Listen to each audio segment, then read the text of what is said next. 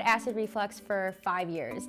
I went to the doctor and they gave me a long list of foods to cut out of my diet to reduce my reflux symptoms. No chocolate, no alcohol, no coffee, which I can't do that, no spicy foods, to cut acidic foods, tomato sauce. It was a ridiculous list that I couldn't cut out. The next thing they suggested was different medications. I was taking all these pills and nothing was working. One other recommendation a doctor gave me was elevating my head with a pillow each night. It was insanely uncomfortable and I wasn't just gonna you know, prop three pillows up each night to cure my acid reflux. I came across this wacky pillow on Facebook one day. It's called the Medcline Reflux Relief System. These people were sliding their arm into this big pillow wedge with a body pillow. The caption was, this could cure your acid reflux. So I was like, wait, tell me more. I wanna cure my acid reflux. So I got one and I'm gonna try it out.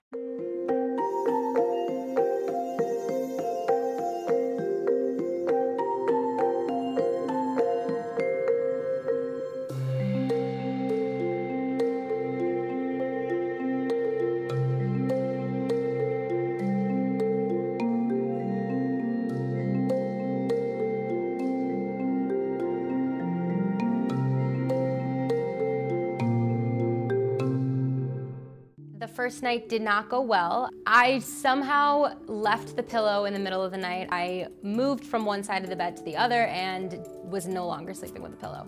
It's a very comfortable pillow, but to be elevated on this wedge all night long and have all this pressure on your arm was really uncomfortable, so my shoulder was killing me the next day. I tried again the second night and third night and same thing. It was really uncomfortable. I was waking up in the middle of the night. By night four, I was starting to adjust to the pillow. I was able to sleep the entire night through. I used the pillow for two weeks straight and my symptoms went down a lot. I was able to enjoy my days and enjoy my sleep without the symptoms and without changing my diet and taking medication. This pillow isn't meant to entirely cure you of acid reflux and it didn't. I still had my days. If I wanted to buy the pillow, it's just under $400. So now that I've used it for two weeks, would I?